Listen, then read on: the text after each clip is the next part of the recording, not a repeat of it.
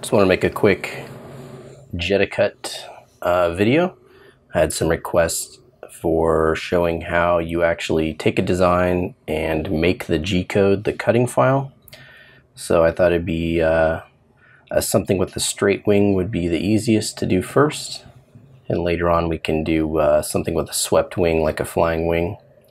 So figured the little micro sky hunter was a good example, something easy we could go through the complete build, although in this video we'll just quickly show the Jedicut software. Um, Andrew has a nice uh, little video where he has all the dimensions, and so I've written those dimensions down. The wing is uh, 800 millimeters wide, although we're going to do it in two parts, so it'll be a 400 millimeter section. The uh, chord is 120 millimeters, and there's no sweep. And that is basically all you need to know aside from picking which airfoil and you don't need to know how to pick an airfoil to design a wing so i'm just going to leave that out. That's something you can research you know in rc groups or, or wherever else on the internet. So go to Jedicut i have it installed. Let's pull it up here.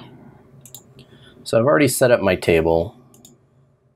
Obviously i've done a lot of testing. I know what cutting speeds and all that stuff um, I've I've told it that I'm going to be doing. Uh, I want it to cut out G code. It can't actually control the CNC machine itself, but I'm just having it kick out G code because I use Linux CNC on a separate computer to actually control my CNC.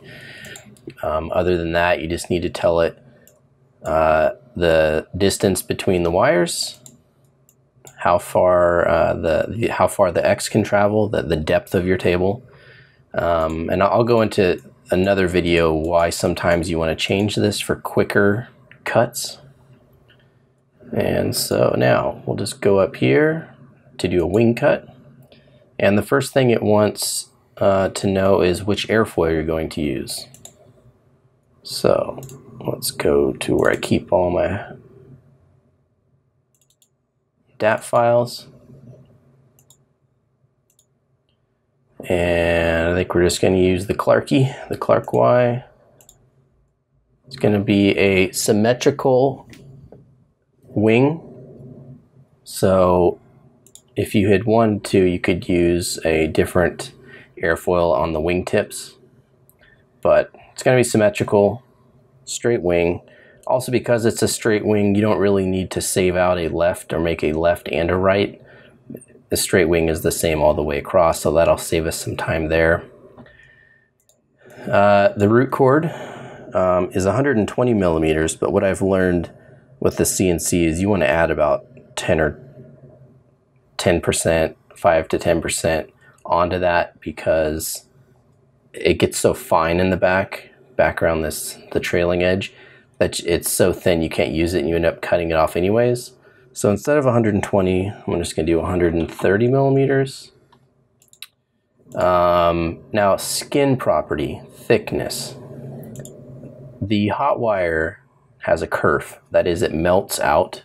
If, you, if you're using a razor blade, there's no kerf because you're actually splitting the material in half. When you're using a saw, usually you lose amount of material as, th as thick as the saw blade. Um, so think of it like that when the metal wire is radiating heat, and not only is melting when it touches, it melts around it. So I know that it's about about 0.5, maybe 1 is what I what I usually use. If I was doing a swept wing, the slower side, which is the wingtip, I would even add that a little bit more. And then the start height is this center line how high up does it need to go in the foam to get to that center line?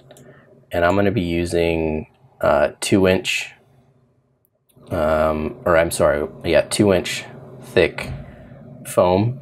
And so I want it to enter at 25. Um, maybe I'll adjust that. Maybe I'll try and fit two wings in there, but for now we'll put 25.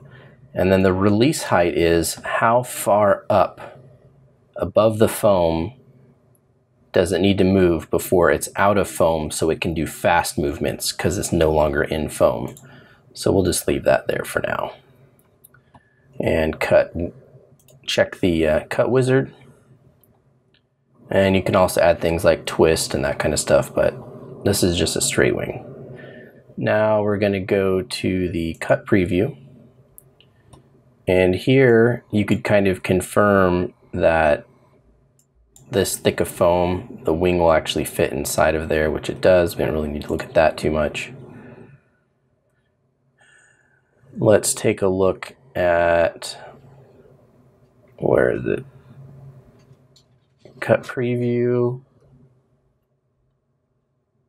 Ribs manager, I'm just missing it here. Oh, here we go, cutting wizard. So this is kind of strange, took me a while to figure out this scale, this number here, that's actually the width, um, the span of foam across the wingspan or maybe the half span.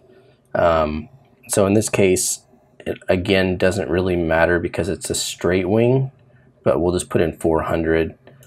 Um, we have no sweep, but if you wanted to, you could put in sweep, but again, it's a straight wing. And we are going to be placing this directly in the center of the table. This box represents my table. Now, that's basically it. The cutting wizard screen is where you put in the wingspan and the sweep and, and tell it where you're positioning the block of foam on the table. This screen here is where you give it the airfoil and the root chord and if you wanted even the tip chord. And it's this is how you place the foam on the table in a in a vertical axis. And that is really all there is to it is once you've gone through the options and you've told it you know the physical dimensions of your table. The only other thing that you need to do to actually get your file out click on cut and click OK and it's going to save your file out. And that really is it. Now there's going to be a lot of fiddling depending on what foam you have to get the correct speed but you can just come back in here and change a setting and export it out. So in the next video I'll actually just uh, place the foam on the table show cutting it out and stuff and we'll get building on it